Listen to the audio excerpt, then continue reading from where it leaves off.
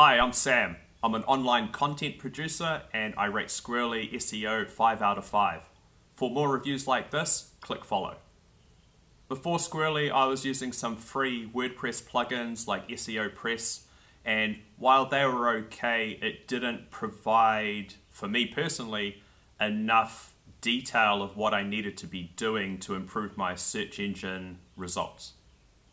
I chose Squirrly because they had a whole system that worked around helping you make better content, uh, make your content better for search engine purposes.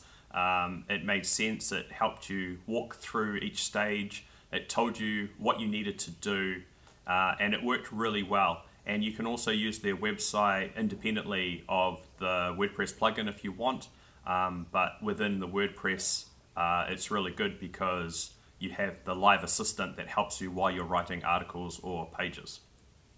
It was easy to bring Squirrly into my setup, uh, sign up and then obviously download the WordPress plugin and sign into that.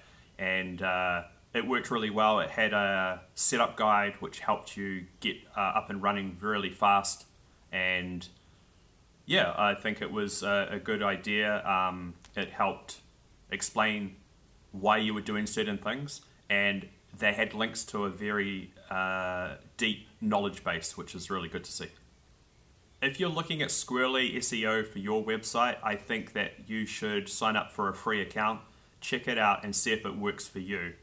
Check out their features, um, compare it to other products out there, and see if it fits your use case. I think that the knowledge base that they have and the help that they provide, along with the product and the features, plus what they're bringing out, is, is a really good product. Uh, it works really well for my needs, and hopefully, it'll work well for you.